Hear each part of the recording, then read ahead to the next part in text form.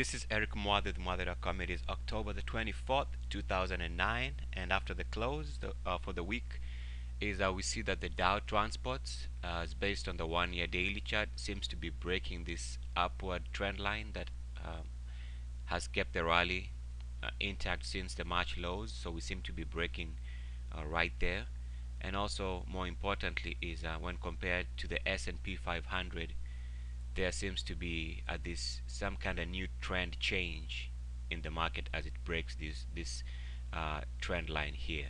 Uh, so net net looks like there's something different in this market and uh, we might be in a new phase slightly expecting prices to go down. And you know what they say as the transports go so does the rest of the market. Eric Moada the Muathe.com peace and